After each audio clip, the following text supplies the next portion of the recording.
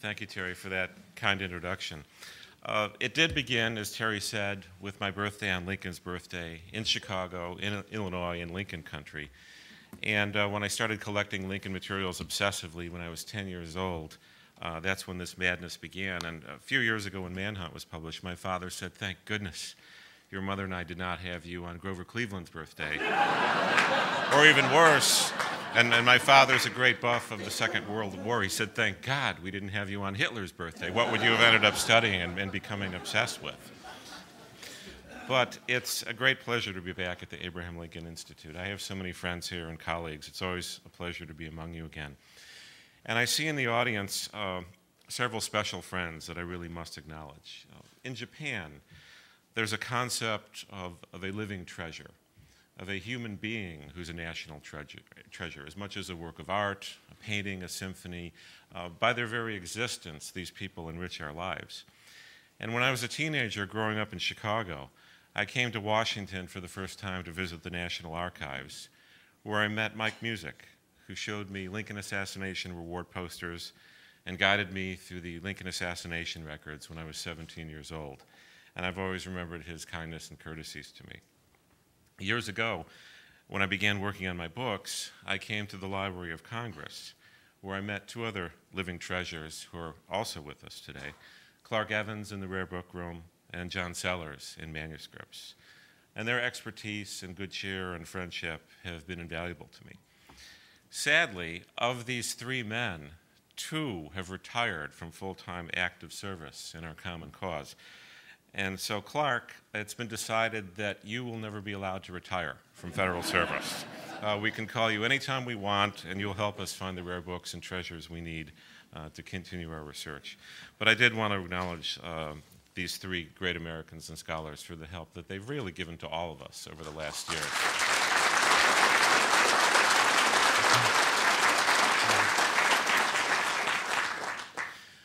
After I had written Manhunt, I thought I had finished with the Lincoln assassination, and I was looking on uh, other topics. But something about the book haunted me, and, and there was some of it still in me. And I realized this on a few different occasions. Uh, one was at events like this when readers would say, Well, what are you doing next? Or you mention in a paragraph that there's another manhunt going on for Jefferson Davis. What happened with that? You mention in a sentence the funeral pageant for Abraham Lincoln on the day that Booth was killed. And I started to get more and more interested in those things. And then uh, my boys, who are now 12 and 14, uh, and who are my main critics, and who help me with my children's books and advise me, uh, said, We want to know more. What happened with the Lincoln funeral? Tell us about the embalming, the autopsy, the funeral pageant. And they always uh, want the blood and gore. In fact, uh, I said, Well, what should I do next? And, and uh, the older boy said, Readers want blood. and, and the younger one said, And knives. and uh, there aren't quite as many of those in this book. But uh, it's important to me when I do a book to visit the places where history happened. And those of you who have read Manhunt know that I visited Ford's Theater a hundred times while I was working on that book. I would often go there during my lunch hour and sit and think and look at the space. Or I'd go to the Peterson House and often could be alone in the room where Abraham Lincoln died. And I've been in the White House, in the, in the Lincoln bedroom, and in other places. And a sense of place is what brings history alive for me. And having the original things in front of me or in my hands is what brought history alive to me and still does. And so one day I was walking through Oak Hill Cemetery in Georgetown. And those who haven't been there must go. Uh, Secretary of War Stanton, Lincoln's great right hand, and so many other important Americans are buried there. And I remember one day walking for the first time to visit the tomb of Willie Lincoln. And uh, Willie was not taken to Springfield at once. He was entombed temporarily in a vault that belonged to the clerk of the U.S. Supreme Court at the very far end of the cemetery. And if you don't know where it is, it's almost impossible to find. And I remember going to Willie's tomb and remembering that Jefferson Davis's son had also been buried in that same cemetery. And as I walked to the tomb of the Lincoln boy, I realized I had to almost step across where once was the grave of Jefferson Davis's infant son. And that juxtaposition of these two dead boys, of the two fallen presidents, struck me as deeply moving. And I realized how little I truly knew about Jefferson Davis and his story. And so I decided to investigate it the way I would do a Lincoln story by visiting the places, holding the artifacts, going to the Museum of the Confederacy, visiting the spot where one of Davis's other sons died during the Civil War, uh, visiting his office, uh, viewing the flag that once draped his coffin, viewing the clothing he wore during his escape. And that really made history come alive for me.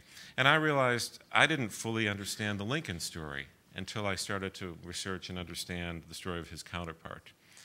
And if you visited the White House to learn about Lincoln, I, have now concluded you have to go to the Museum of the Confederacy. You have to go to the Confederate White House and visit there.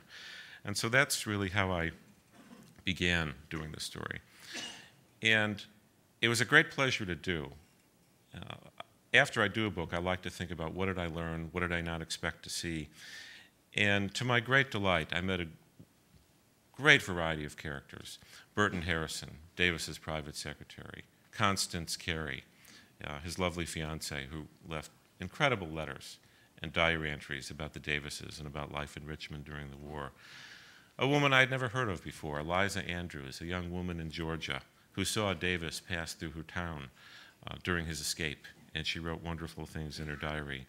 And so many other people, the cabinet members who accompanied Davis, Lubbock, the former governor of Texas, Reagan, the Treasury Secretary, great characters. And by the time I'd finished my research, I came to what I thought was a surprising conclusion as a Lincoln man. Jefferson Davis is truly one of the lost men of American history. And I think it's a loss to us that we don't know who he is anymore who remembers him, aside from perhaps his birthday? Even that. We celebrated recently the 200th anniversary of the birth of Abraham Lincoln. White House dinners, stamps, coins, television documentaries, films, celebrations, lectures, symposiums, over 75 books published for the occasion. In 2008, the bicentennial of the birth of Jefferson Davis passed without notice. Uh, there were no White House dinners, no coins, no stamps, no books. And the interesting thing is, prior to Abraham Lincoln's inauguration in 1861, it was Jefferson Davis and not Abraham Lincoln who many of Americans would have identified as a likely future president of the United States. Certainly, if, say, as late as 1855, maybe even 1856, a few years before the Lincoln Douglas debates. If you had said to most Americans, and put aside political issues of, of old Whig or Republican or Democrat, and, and not ask people their desire, but simply to make a prediction, if you had said to most Americans prior to 1856, who was a likely future president of the United States of America? Jefferson Davis or Abraham Lincoln? I'm convinced that a number of people would have said, Abraham who? certainly prior to 1855. It was Davis who was once perceived as the great American, graduate of West Point, congressman, hero of the Mexican War who led his troops forward in battle, was wounded but continued the fight, United States Senator, one of our greatest secretaries of war, and a man renowned for his nationalism and patriotism. A man who once said, I believe that the North, with its great industry, and the South, with our agriculture, will conquer the continent.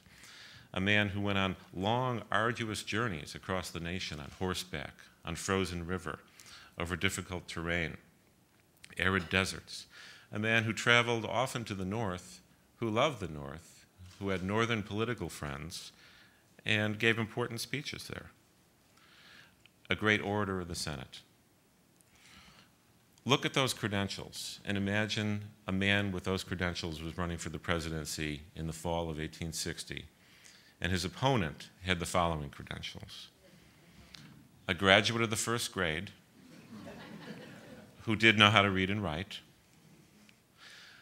a man from a rural, humble background with no important friends, no mentors to take him through life or send him to great schools, a man who really had to teach himself and read and studied on his own and read books, a man who never made great journeys across the American continent, a man who had seen very little of America, a man who held no important public office nationally but for one term as a U.S. congressman, which was not an illustrious term. Compare those two credentials, and one wonders if the Democratic Party had not split in 1860 and the election was Davis of Mississippi versus Lincoln of Illinois, what might have happened? Interesting to speculate, we'll never know. Of course, there's so many similarities between them, and this is one of the most fascinating things to me about my research. Uh, we think of them as so different, but think of just a few, and I'll just give a few examples now. Both born in Kentucky, less than one year apart, less than 100 miles apart, both born in log cabins. In their youth, both men were joyful pranksters. They weren't dour, dark figures, brooding men. They were joyful boys. Lincoln, of course, became a fantastic wrestler, and we all know about those matches with the Clary's Grove boys and others. Uh, slaves taught Jefferson Davis to write when he was a boy. Look at their physical similarities. Tall, lean, hawk-like men. Lincoln was the taller man at six foot four. Uh, the erect bearing that Davis learned at West Point stayed with him through much of his life, and he always appeared taller than he was. But they looked almost cadaverous. They weren't interested in fine food, antiques, fine art. They were more interested in the life of the mind. But they both had that haunted look. They both suffered great tragedies in their youth, which I'm, which I'm convinced marked both men in ways that are still not fully understood by us today. In the case of Abraham Lincoln, we know the name Anne Rutledge. And I'm absolutely convinced, and I don't claim the pioneering research on that, that really belongs to our friend Michael Burlingame, who's here with us today in his Peerless Lincoln biography.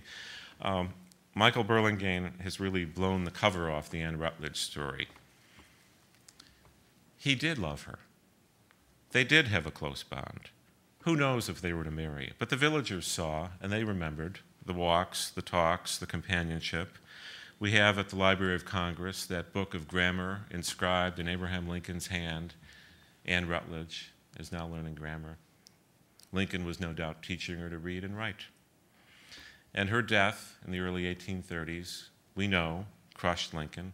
We know that his friends and associates feared that he might take his own life, that his mind might become unhinged. Uh, for 150 years, uh, the influence of Mary Lincoln, Mary Lincoln's apologists, uh, has really concealed much of the story of Abraham Lincoln and Anne Rutledge, much of which we'll never know. Suffice it to say, the death of this young girl on the Illinois frontier was an absolutely devastating event in the life of young Abraham Lincoln. We have no image of her. Who would have thought to paint a portrait or, or do a watercolor or a sketch of a poor illiterate girl in the West? In the case of Jefferson Davis, her name was Sarah Knox Taylor. She was the daughter of General Zachary Taylor, the future president of the United States. She and Jeff met, and the Taylors were not thrilled with this match. Uh, Mrs. Taylor knew the hard life that an Army officer's wife would experience on the western frontier. Jeff and Knox corresponded for two years, didn't see each other.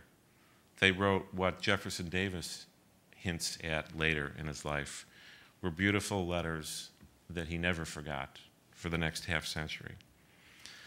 He resigned from the Army to marry her, and so they did. He took her home to Mississippi during the sick season where there was a particularly virulent form of malaria brought over by slaves 200 years before, and then to his sister's plantation, where Jeff and Knox both contracted malaria. Both almost died. He roused himself from bed when he heard her singing one of her favorite songs, and he went to her bed, and uh, Sarah Knox Taylor died in his arms. Uh, She was 21, and they had been married for 12 weeks. Davis then went into what he called his period of my, quote, great seclusion, close quote, where for several years he essentially hid himself away on his plantation, which adjoined his brother's plantation. And there he spent the next several years reading, thinking with his brother and their slaves. He eventually emerged from that seclusion to walk in the world again when he married uh, Varina Davis, a uh, great match for him. Certainly in marriage, uh, Lincoln and Jefferson Davis uh, were not equally lucky. Um, Davis was lucky to find Varina, and she was a wonderful companion to him. Uh, her book is wonderful, her letters are wonderful. Uh, some modern historians have suffered from, I think, modern interpretation and have accused Varina of suffering from a false consciousness and denying her intellectual essence by serving Davis. But if you read the relationship closely, I think they both viewed each other as a lifelong love match. Uh, during the Rocky Road, they lived together.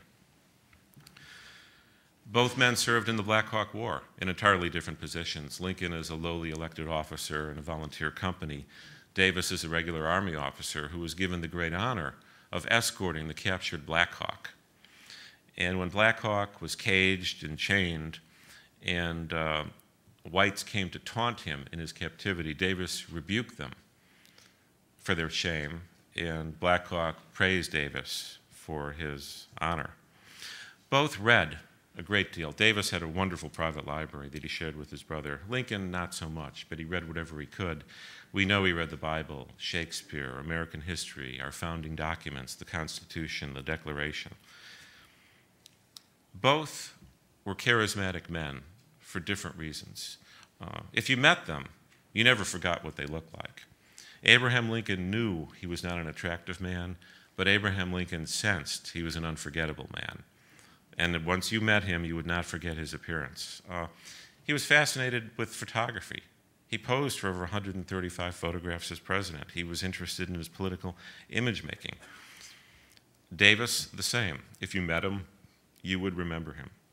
They were great speakers for entirely opposite reasons. Lincoln had this high, keening Kentucky accent that could reach great distances. He could warm up, and he was mesmerizing. Davis, on the other hand, who caused people to cry in his farewell speech when he left the Senate, had a pleasing Southern voice. It was that voice that charmed Knox and later Varina on the day they met. During their presidencies, both were tortured and bedeviled by their critics. Lincoln, as we all know, was despised by a number of people in the North. He was despised by a set of newspaper editors. People despised him for the draft. People despised him for fighting the war in the first place. Davis was equally bedeviled by generals and cabinet members who defied him, who sought to undermine him, who dreamed of replacing him. Uh, both knew throughout their presidencies that they suffered from major opposition. Both had White House tragedies.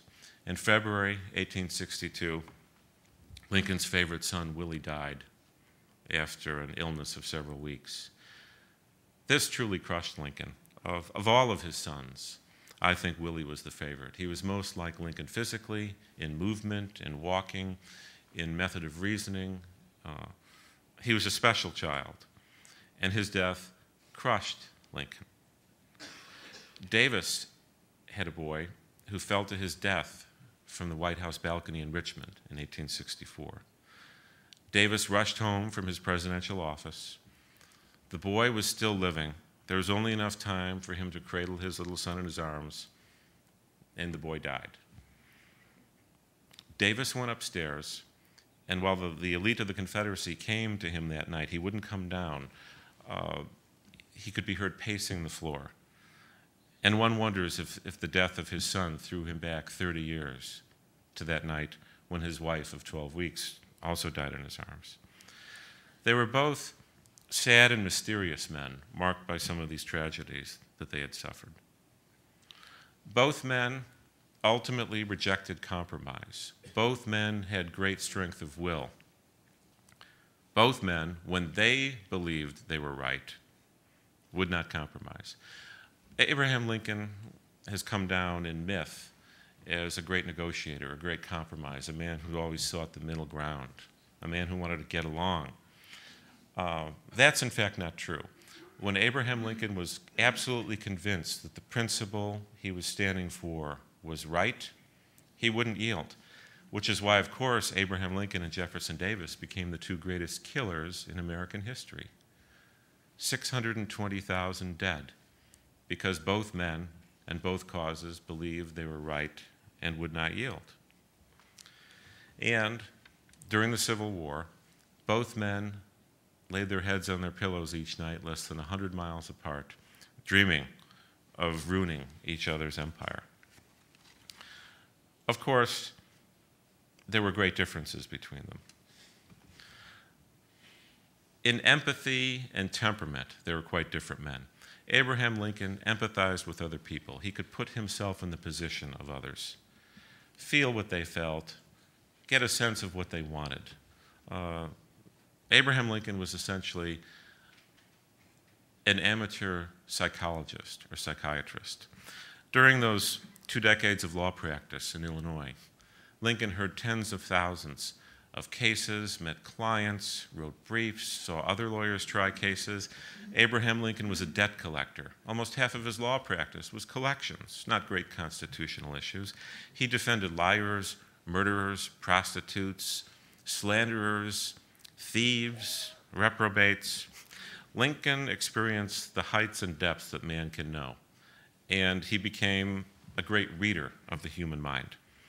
And while Lincoln knew he was different from other men, and Lincoln do, knew he had certain gifts that others did not possess, he did act humbly. And he would not hold a man's high opinion of himself against him, as, as we witness when he assembled his cabinet. Lincoln was more flexible in dealing with allies and even with foes. Jeff Davis's great Achilles heel was his inflexibility and his more sober personality. He could take offense easier than Lincoln could take offense. He could hold a grudge longer than Abraham Lincoln could hold a grudge. And that certainly undermined part of his presidency. Of course, the ultimate difference between them is, is and this is the great divide. You know, people always ask, did they ever meet? Did they know each other? Were they friends in Congress before the Civil War? No, Abraham Lincoln and Jefferson Davis never met. Apparently, they never even laid eyes on each other, even though for certain brief periods of time they lived in Washington during the same months. Here is the great divide between them Who is man? What is the nature of man? Jefferson Davis believed that African Americans were by their very nature inferior and meant to be slaves. He believed that slavery was actually good for them, that it civilized a primitive people from Africa, that it Christianized them. And Davis believed that it was the natural order of things that one race be superior and in control of another race. And of course, as Abraham Lincoln said once, but believed throughout his life, if slavery is not wrong, then nothing is wrong. That, in a nutshell, was Lincoln's view. Lincoln believed that people could be improved. He believed that they must be free. He believed that people should all be free under the Declaration of Independence and the Constitution.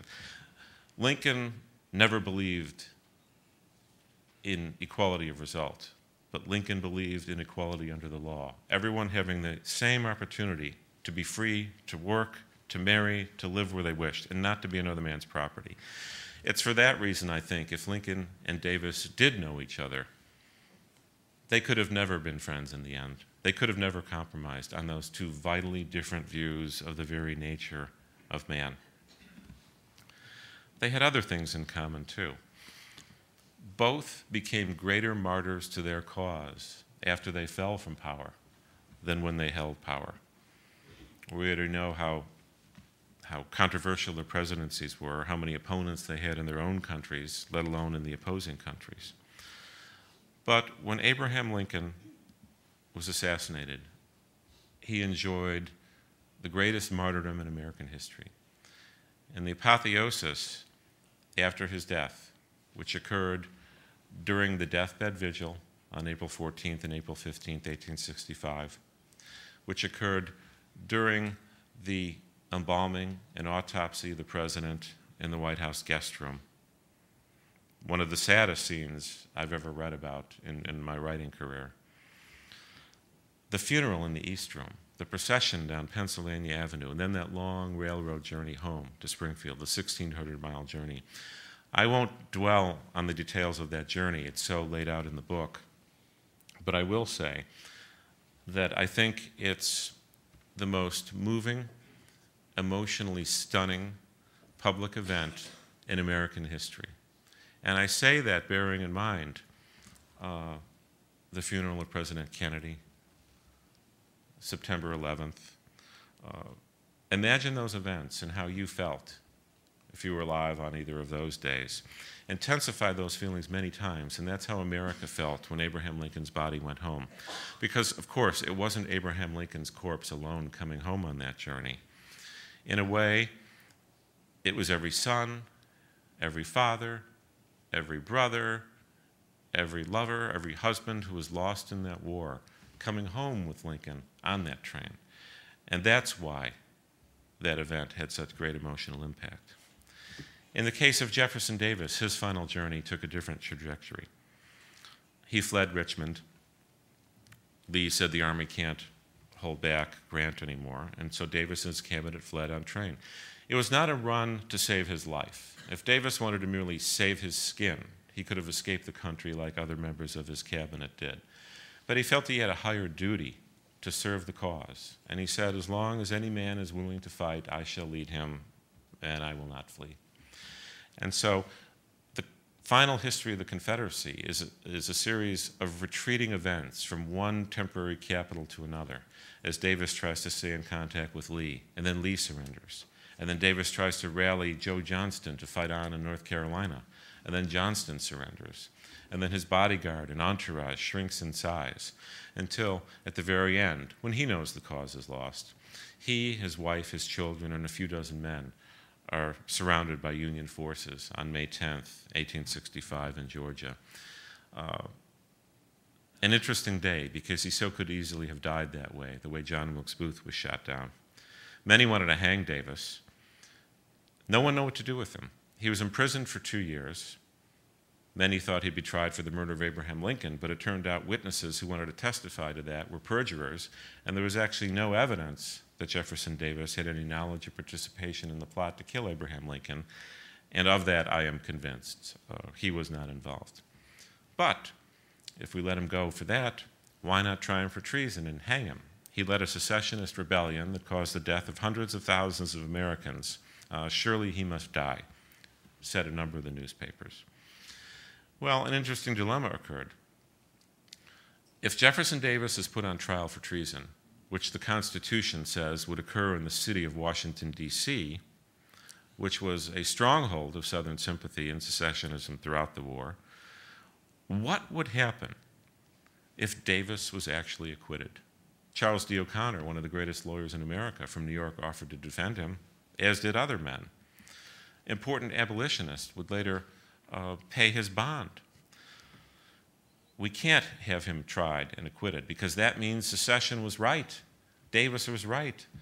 We've just wasted 300,000 Union lives for nothing, and they were right all along.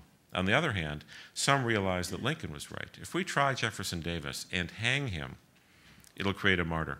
The Springfield Republican newspaper said, A million Southern women will come to dip their handkerchiefs in his blood, and they will fight us for another century.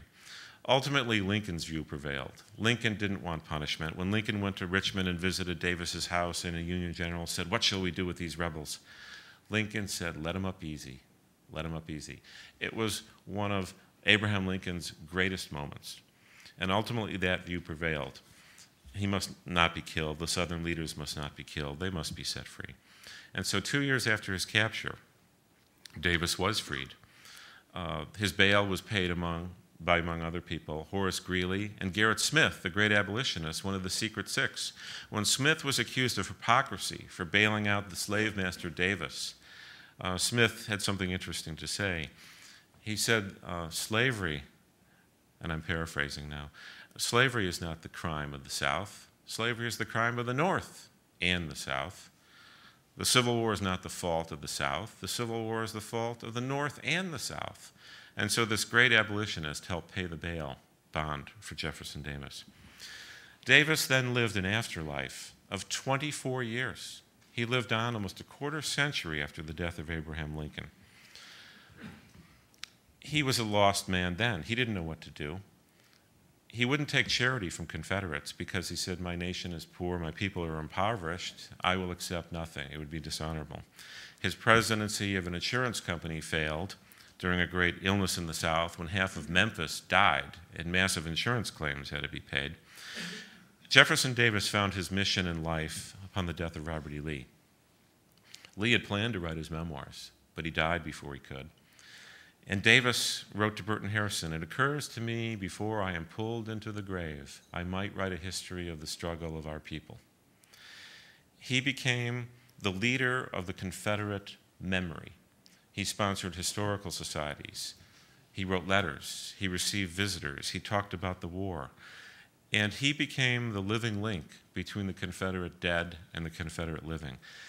And at that time, the Confederate dead was often spelled with a capital C and a capital D.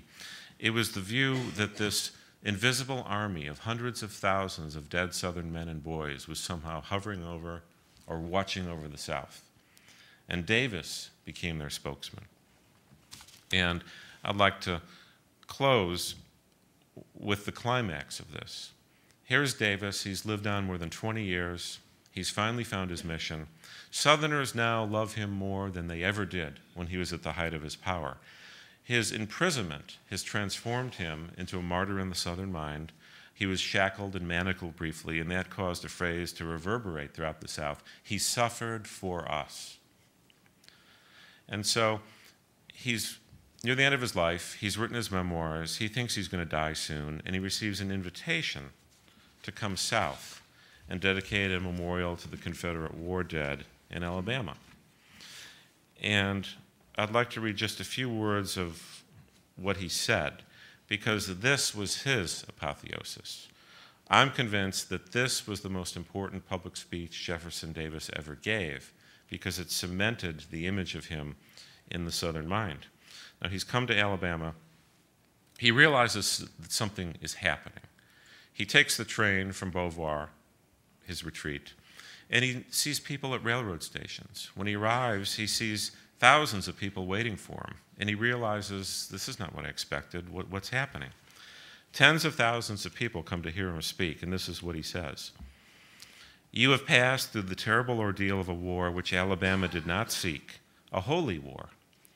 Well do I remember seeing your gentle boys, so small, to use a farmer's phrase, they might have been called the seed corn. Moving on with eager step and fearless brow to the carnival of death. And I have also looked upon them when their knapsacks and the muskets seemed heavier than the boys. And my eyes, partaking of a mother's weakness, filled with tears. Those days have passed. Many of them have found nameless graves. That poetic image of the seed corn was driving the audience almost to a frenzy. And then Davis uttered the words that I think linked him forever, uh, united the Confederate past and present through this dream of the lost cause. But they are not dead. They live in memory, and their spirits stand out in a grand reserve of that column which is marching on with unfaltering steps towards the goal of constitutional liberty. Then, at the conclusion of his speech, he took his listeners back to the very start of the Civil War. I'm now standing very nearly on the spot where I took that oath of office in 1861. Your demonstration now exceeds that which welcomed me then. The spirit of Southern liberty is not dead. Then you were full of joyous hope with the full prospect of achieving all you desired, and now you are wrapped in the mantle of regret. I've been promised, my friends, that I should not be called upon to make a speech, and therefore I will only extend my heartfelt thanks God bless you, one and all, men and boys, and ladies above all the others, who never faltered in our direst need.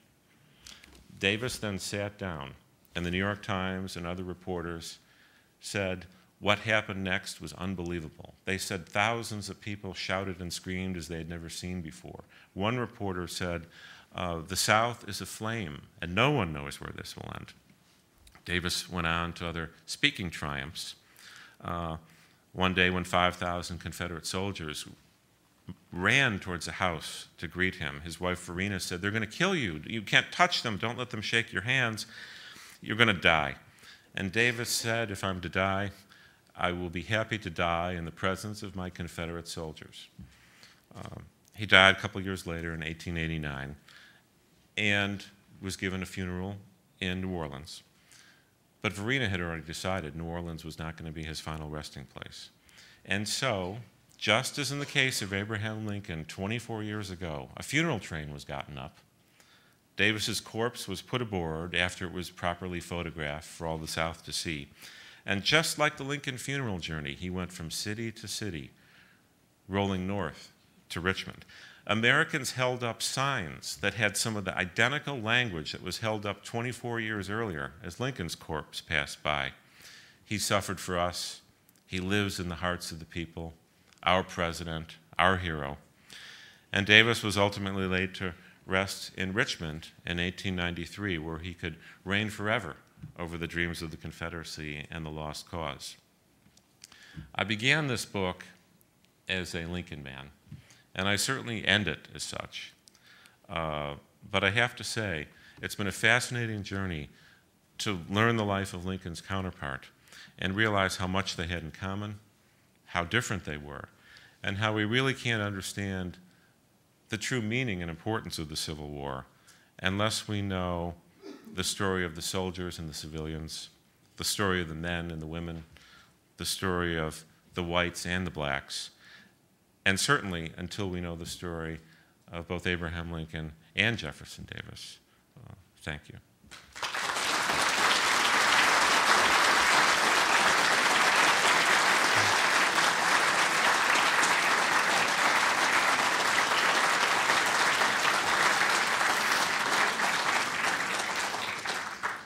if anyone had a question, I'd be happy to try to answer it.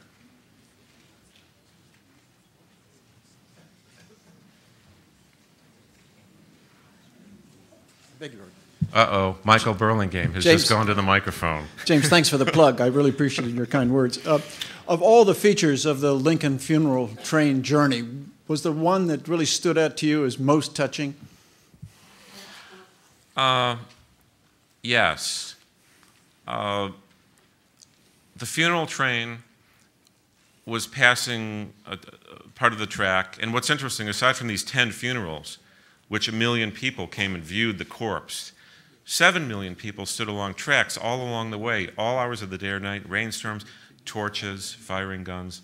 There's one scene where the funeral train is passing by, and General Townsend, who was in charge of the funeral train, looked out his window, and he saw an elderly, poor woman uh, he said she looked bedraggled, white hair standing out. And she had a black shawl and sash, and she was beckoning to the train with a bouquet of flowers. And the image of that sole woman standing by the railroad tracks, waiting for the train to pass, was very moving to me. I think the most shocking thing, by the way, was what uh, New York City did to Abraham Lincoln. Uh, it's the only place along the journey where Lincoln's corpse was actually photographed. And if such a thing were to happen today, where would it happen? But of course, but in New York City. and the love of the sensational. Uh, and that caused great controversy. But I, I, think one of the most moving things was that, simple story of that woman standing alone, beckoning to the train with a bouquet of flowers that she had picked for Lincoln. And, and another great one is Willie Lincoln traveled aboard the train with his father. And some children sent flowers to the train and presented them for Willie's coffin, and their message was so that he is not forgotten too. Michael. Another Lincoln-related question. Uh, I've just been reading the autobiography of John Mercer Langston, uh, noted African-American lawyer, inspector of the Freedmen's Bureau, congressman, and so forth. Uh, and Langston was in Washington, D.C. Uh, at the time of Lincoln's death, and uh, in his memoir, he says that uh, as Lincoln's body was taken to the Capitol, it was removed from the hearse and taken to the catafalque, not by any of the many white Union regiments that were in Washington at the time, but one black regiment that had been brought up from Tidewater was given the honor of taking the body from the hearse to the catafalque, and apparently that electrified Langston. Uh, was that an accurate recollection, and do we know what unit that might have been? I know, but not off the top of my head. Uh, some Union officials wanted to keep black soldiers and black citizens from marching in the parade. And Stanton was not pleased to hear that and gave specific orders that black military units were to participate. And there was a moment when that unit of black troops was arriving to join the procession, and the procession was starting to move. So just as they turned onto the avenue, they appeared to almost head the procession, like they were beginning a, a, a position of honor, and that caused a great thrill to come through the crowd. But, but how tragic it would have been if at Abraham Lincoln's own funeral, uh, the black troops, of which almost 200,000 had joined the Union Army and many had died, how tragic if they had not been allowed to march in the funeral procession for Lincoln. Great answer, thank you. In your book, you mentioned how Jefferson Davis, uh, in his escape, finished up with uh, penniless and gave away his last coin to a poor widow. He left uh, Richmond on a train with all the treasures of the Confederacy. What happened to the treasures? Well, I'm not going to answer that question because my next project is I'm going to attempt to find the Confederate gold for myself. So I'm not going to tell you where it is. Uh, let, let, me give a brief answer to that. Uh, the Confederate gold train, or trains, I should say, is a whole subject in itself, worthy of a whole book in itself. And so, for strategic reasons and as a concession to the brevity of life, I decided not to also write the history of the Confederate gold train.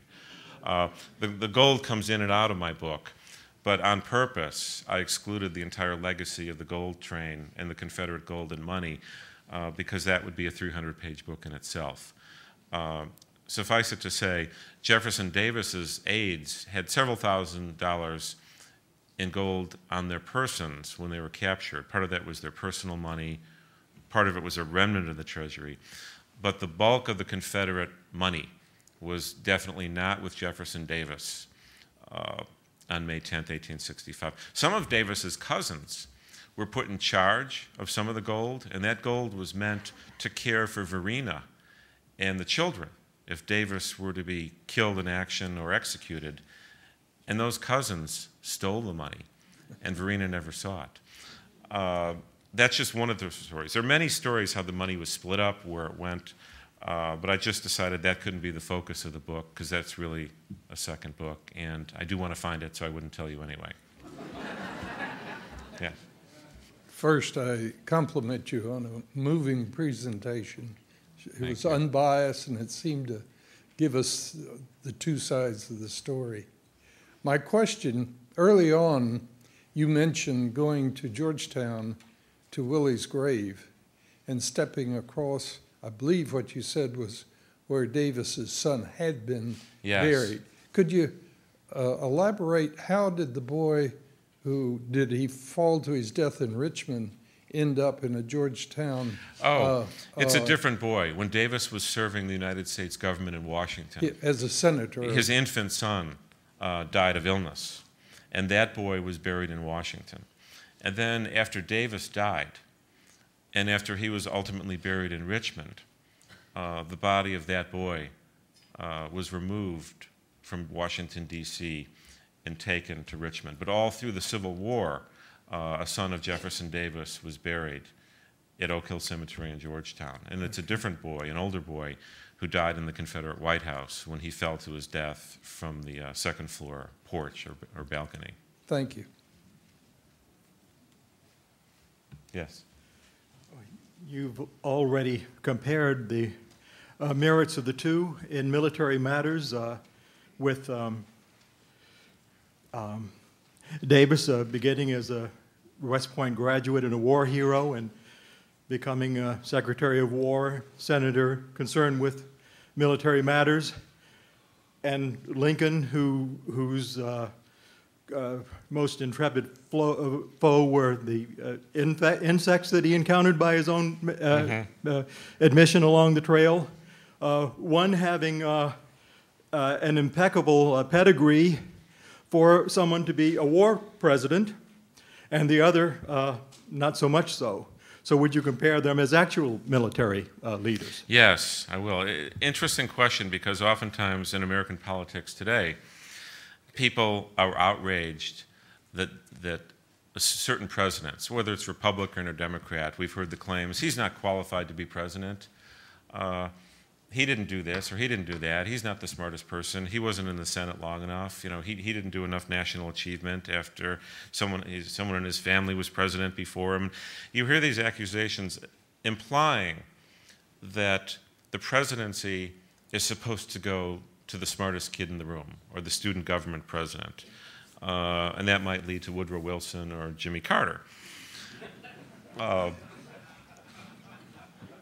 I'll say no more about that. but, but you're right about the training. Uh, beginning of the war, Abraham Lincoln was not a good military leader. And I think if Lincoln was here today, he would say, you know what, during that first year of that war, I let the generals bamboozle me too much. Uh, but he had an incredible reasoning ability. One of my favorite stories is the story about the, the Union troops creating a, a lock or a passageway for a, a vessel to, to travel through. And they go through all the elaborate preparations, and of course, McClellan is the great preparer, not the fighter, but the preparer. And this is built, and then the boat can't go through. And Lincoln said something like, and I'm paraphrasing again, it would occur to me that if I were to design a passageway for a vessel, I might measure the width of the vessel and then measure the passageway. And, and so uh, Lincoln had an intuitive grasp of logical, common sense things. And then he, he developed a great grasp that the mission was to crush the Confederate Army, not to capture cities and, and places of, of emotional significance, but to grind it out and win. Uh, Davis didn't want to be president. He thought he should be general or general in chief of the Confederate armies, and he didn't think he'd be necessarily a great war leader. Uh, I suppose you could say Lincoln was certainly the more effective war leader, but he also had more to work with. Uh, is it a miracle that the Confederacy didn't win, or is it a miracle that they were able to actually last for four years? Uh, Davis gave it all. Uh, Robert E. Lee said, and I think this is a telling tale because they did have a good relationship. Robert E. Lee said, No man could have done better. Uh, if Lincoln was president of the Confederacy, could he have won the war with the resources Davis had? I don't know. If Davis had the resources Lincoln had, could he have won the Civil War? Uh, in the end, though, I think Lincoln did show less jealousy, he showed more flexibility and less grudge as a war leader than Davis did. And sometimes Davis's personality impaired his military judgment, or he stuck too long with generals who he viewed as loyal allies when perhaps he should have replaced them. So if it came down to it, the coin flip, I'd flip the coin for Lincoln to, to, to win in that category. Yes. Yes, I'm from Pittsburgh, Pennsylvania, and I know that the funeral train took his Lincoln's inaugural, inaugural trip backwards, back to Springfield. Approximately, yes. Yeah, well, that's my question. Uh, I know Pittsburgh is one of the cities that was uh, left off the Yes. final trip. Do you know why? Well, it was simply a matter of time. The Secretary of War was deluged with telegrams from all over the North. Please send him here. Uh, detour the train there. Go to Missouri and St. Louis, then come to Springfield. Everyone wanted to see him, especially in every city where Lincoln had passed through during the 1861 inaugural journey coming east. And I've, I've read most of the telegrams that were sent by governors and political leaders and generals begging Stanton, please send him this way. They'd even try to get to Mary Lincoln, you know, send him here, we love him here. And it just became a matter of time. And Lincoln couldn't be kept on the road forever. Uh, embalming was used during the war, but it was primitive. Abraham Lincoln lay unburied for 20 days. And he did begin to decompose on the journey. It couldn't go on forever. Uh, newspapers were polite about it and didn't exactly mention the appearance of the corpse as the journey progressed, but undertakers had to be on board the train, attending to it constantly. And it was really not to slight any particular region of the country. It was really the ticking clock of getting that body home to Springfield in a reasonable amount of time. And so it was really for logistical reasons, organizational reasons, not to, to slight any particular city or any state. Uh, Lincoln just couldn't be taken everywhere that the people begged that he come. Yeah, they, but they were big Lincoln supporters there, so it's kind of surprising that Pittsburgh was left off the, the list. But thank you. Yes. Yes, I'm just wondering, what is your most, what, was the most interesting document you, you'd had ever seen here at the National Archives? Well, uh, it's a tough question because for much of my research, I've been more of a Library of Congress man and a U.S. Army Medical Museum man. Uh, much of my work at the archives has been done from microfilm, and the archives is very reluctant to let historians see original things. So I'd say at the archives, nothing of great significance. I would say at the Library of Congress and the U.S. Army Medical Museum, where, for example, I've held in my hands the piece of John Wilkes Booth's spine, pierced by Boston Corbett's bullet. Uh, where at the, at the Library of Congress, where I've looked at, this is probably the most exciting thing. Uh, one day, John Sellers and I looked at the original diary of Benjamin Brown French, uh, who was Commissioner of Public Buildings in Washington, D.C. Lifelong Washingtonian, knew everyone, saw everything, beautifully bound volumes, beautiful script and handwriting, color objects inserted in drawings and ephemera. And those are the kinds of things you can't pick up just through a black and white microfilm or, or a scan. Uh, the Civil War came alive that day when John and I were looking through that diary of, of his incredible participation in the Lincoln funeral, uh, the mourning, the Grand March of the Union armies. Uh, one of the great unsung observers of, of 19th century American history in Washington, D.C., is, is Benjamin Brown French. So I, I would say uh, that's probably the favorite document uh, during my research uh, that I've seen in person. Thanks very much.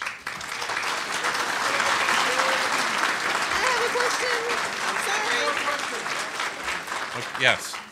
Yes, I have a question. I was wondering if there are, um, is there artwork of the funeral? Oh, yes, there's a lot. One thing I tried to do in the book, I think history books in general don't show enough photographs. Uh, I'm, I'm very much an image person. And so I, I fought a few battles with my publisher. And instead of the usual 20 or 30 images, I think we, we've stuffed over 60 or 65 images into this book, many of which have not been published before. Uh, so I'd certainly start with this book. Uh, I did a book entirely on images related to the Lincoln assassination. I think there are over 200 images there. Uh, and there are a couple other books on the subject, too. So that, that's what I'd say about where to go next for, for the imagery. Thank you.